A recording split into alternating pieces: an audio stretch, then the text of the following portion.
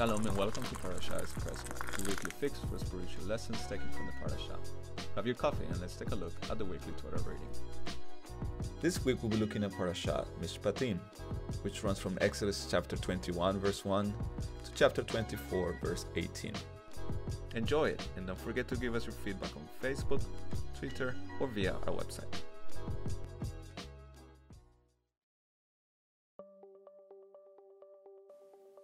He was sent to the famous Devil's Island penal colony for a crime that he didn't commit.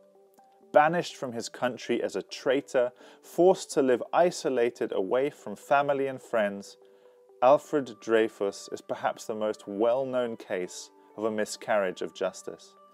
A French soldier, loyal to the cause, he was accused of supplying information to the Germans. Despite a flimsy case against him, he was sentenced and denounced as a traitor. Yet his family didn't give up on him and were finally able to prove his innocence and find the real culprit. The fact that Dreyfus was Jewish added another dimension to the case. Anti Semitic riots broke out in France as people protested both his innocence and guilt. It was a classic case of the Jewish scapegoat.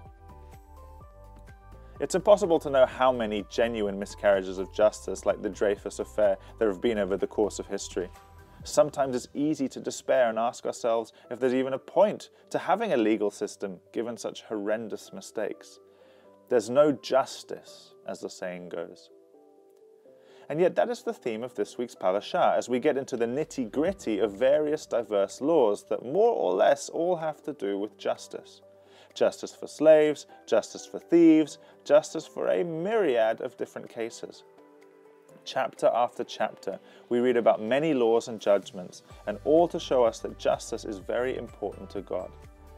Perhaps the summary of this week's portion can be found in the famous statement on retribution an eye for an eye and a tooth for a tooth. Whatever wrong someone has done, they deserve to have it done back to them. We also read that restitution has to be made in case of accidental or purposeful loss of or damage to property. God is concerned that we treat each other well as a society and as a people. No one is to take advantage or exploit anyone else. We're all supposed to live in peace and harmony. There's supposed to be perfect justice, not miscarriages of it. If justice is so important to God, why isn't there justice in the world? Is perhaps the question that you're asking yourself as you listen to this. It's a good question. If God is going to take the time to give us His law and outline a whole set of legal principles, why does He seem unconcerned if they're broken? Why does He let wrongdoers get away with it? Why doesn't He step in to prevent people being sentenced for crimes they haven't committed? We're in good company if we're asking these types of questions. Job asked this question, as did the prophets and the psalmists. They cried out for God's justice to be done. There is, however, a problem in our cry for justice, as I've mentioned in a previous podcast. If we want justice, then we have to want justice across the board, which means that we also have to want justice for ourselves when we do wrong.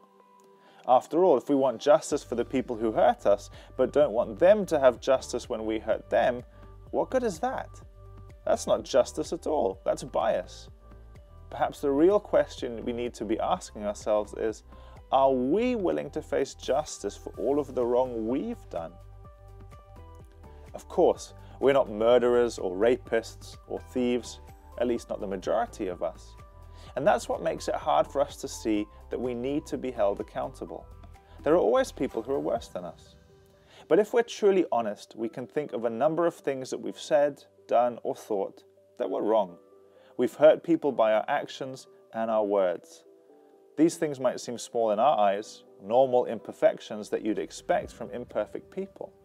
But to a perfectly just and fair judge, indeed the only one who is truly just, these wrongdoings also need to be brought to justice. We find ourselves standing before the judge of the whole universe with nothing in our defense. Our plea is guilty as charged. There would be no miscarriage of justice in our case. But let's return to our initial question, which we still need to answer.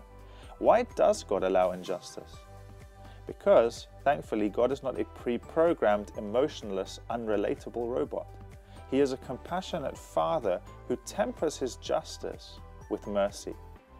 God allows injustice in this world because if He didn't, He would either have to make us robots that always obey Him but have no free will, or He would have to wipe out humanity. All of us, whether we wouldn't hurt a fly or are a serial killer, stand guilty before God, unable to live up to His standard because we broke ourselves. We're a shadow of our former selves since our parents rejected God in the garden. We're not what we should be. If we demand justice for all the injustice in the world, then we're actually asking God to put the whole human race in a proverbial prison. We're all guilty, no exceptions.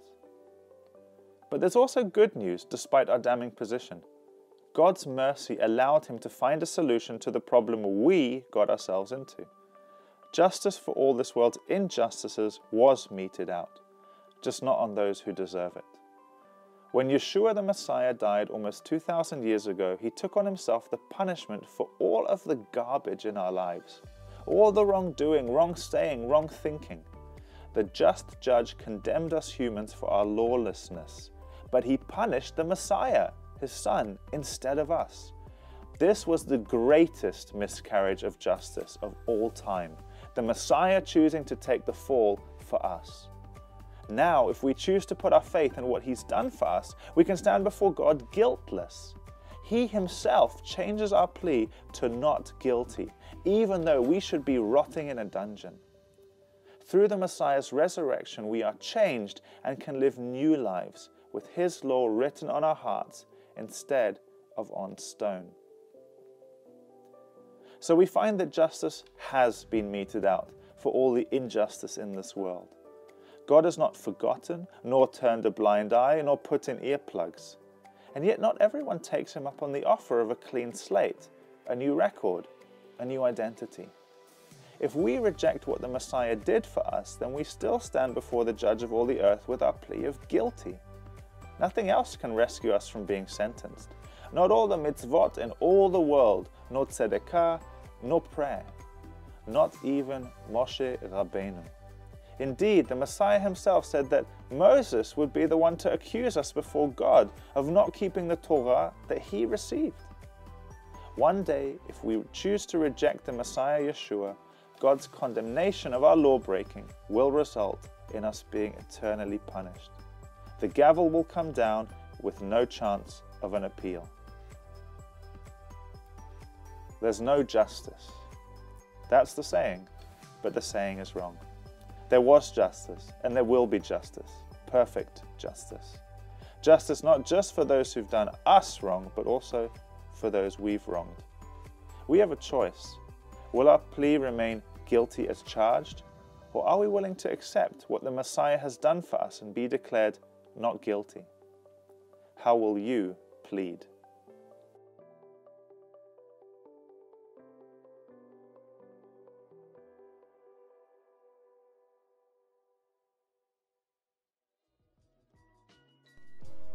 That's it for this episode. We hope you enjoyed our Parashah Espresso. Please don't forget to subscribe to make sure you get the latest episodes. We'd love to hear from you, so please get in touch with us on Facebook, Twitter, YouTube, or via our website at judenfürjesus.de.